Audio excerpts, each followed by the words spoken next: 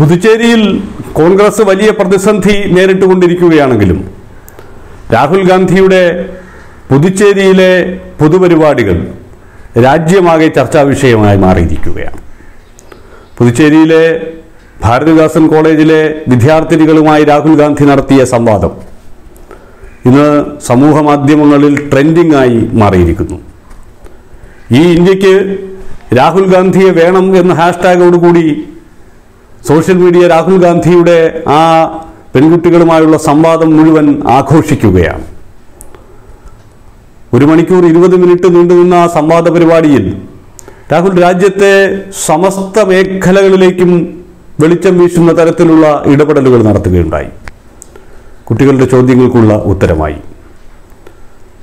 തന്റെ പിതാവിന്റെ മരണം മുതൽ അച്ഛനെക്കുറിച്ചുള്ള ഓർമ്മകളടക്കം ആ ഓർമ്മകൾ എങ്ങനെയാണ് താനെന്ന വ്യക്തിയെ രൂപപ്പെടുത്താൻ സഹായിച്ചിട്ടുള്ളത് എന്നതടക്കമുള്ള കാര്യങ്ങൾ വൈകാരികമായി അവതരിപ്പിച്ചു. ഒപ്പം രാജ്യം നേരിടുന്ന പ്രധാനപ്പെട്ട പ്രശ്നങ്ങളിലേക്കൊക്കെ കടന്നു ചെല്ലാൻ വിദ്യാർത്ഥിനികളുടെ ചോദ്യങ്ങൾക്ക് ഉത്തരം നൽകുന്നതിലൂടെ രാഹുൽ ഗാന്ധിക്ക് സാധിച്ചു. അപ്പോൾ ആ സംവാദ പരിപാടി ശ്രദ്ധിക്കുന്നവർക്കൊക്കെ ഒരു കാര്യം ബോധ്യമാകും. രാജ്യത്തെക്കുറിച്ചുള്ള വിശാലമായ കാഴ്ചപ്പാടുകൾ ഇപ്പോഴും കൊണ്ടു നടക്കുന്ന ഒരു നേതാവാണ് രാഹുൽ ഗാന്ധി. ഒരവസരം കിട്ടിയാൽ ഈ നാടിനെ മാറ്റത്തിലേക്ക് നയിക്കാൻ ശേഷിയുള്ള ഒരാൾ എന്ന് തന്റെ വാക്കിലും പ്രവൃത്തിയിലും നിരന്തരം ബോധ്യപ്പെടുത്തിക്കൊണ്ടിരിക്കുന്ന ഒരാൾ പക്ഷെ എന്തുകൊണ്ടാണ് അങ്ങനെ ഒരു അവസരം രാഹുൽ ഗാന്ധിയിലേക്ക് എത്താത്തത് എന്നുള്ള ചോദ്യത്തിന് രാഹുൽ എത്തുന്നതിന് മുമ്പ് പുതുച്ചേരിയിൽ നടന്ന സംഭവ വികാസങ്ങൾ തന്നെയാണ് ഉത്തരം. മറുവശത്ത് പ്രലോഭനങ്ങളുമായി അധികാരസ്ഥാനങ്ങൾ വച്ചു നീട്ടി കോൺഗ്രസ്സുകാരെ ബി ജെ പിക്കാർ മാടി മാടി വിളിക്കുമ്പോൾ അവർ അങ്ങോട്ട് പോയിക്കൊണ്ടേയിരിക്കുന്നു.